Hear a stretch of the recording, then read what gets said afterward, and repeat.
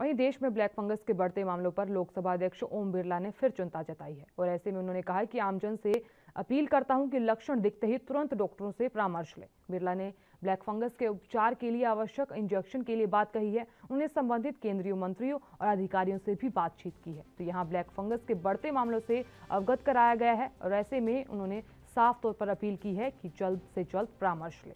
तो यहाँ black fungus के उपचार के लिए आवश्यक इंजेक्शन की पर्याप्त उपलब्धता सुनिश्चित करने को कहा गया है।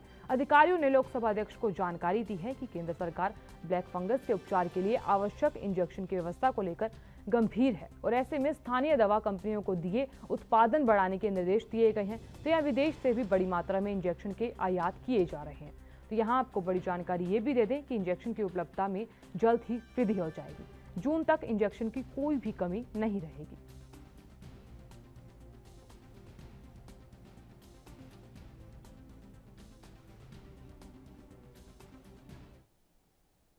देश दुनिया की खबरों के लिए एएनबी न्यूज़ को सब्सक्राइब करें और बेल आइकन दबाएँ।